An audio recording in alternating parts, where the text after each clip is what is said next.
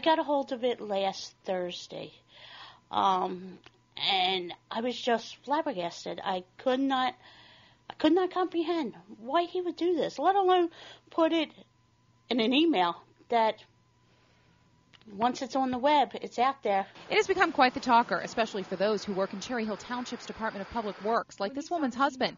She doesn't want to be identified, but says she was appalled when she read an email sent by a Cherry Hill School District's Operation and Facility Management Director, Kevin Larson. I do believe it was racist because there are only two black sweetheart of gentlemen that work for the township, and they are usually um, assigned to that school district. The email dated January 28th is Larson's response to a Cherry Hill school principal asking for manpower with snow removal.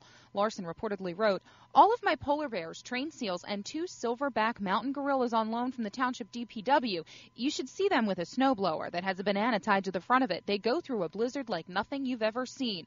Are already strategically reassigned. Sorry. Hi, Mr. Larson. This is Deanna Durante from NBC 10 News. Calls to Larson's cell phone were not returned. Statements like that are just reprehensible.